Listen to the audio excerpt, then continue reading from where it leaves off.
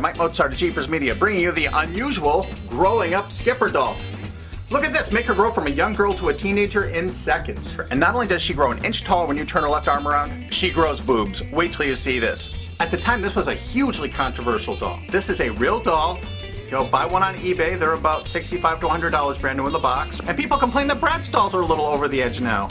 This is before. Turning her arm around. That's the result. So that's what happens. She grows an inch taller and she grows boobs. Hey, if you like this review, please give me five stars. They're right down there. Do, do you see them, Skipper? I'd really appreciate it. And if you click that little blue word down there that says Jeepers Media, there's more than 85 cool product reviews just like this. Most of them are really funny. Subscribe, there's lots more cool product videos to come. And just like this, Growing Up Skipper. Buy a classic one today and you can make Skipper grow yourself.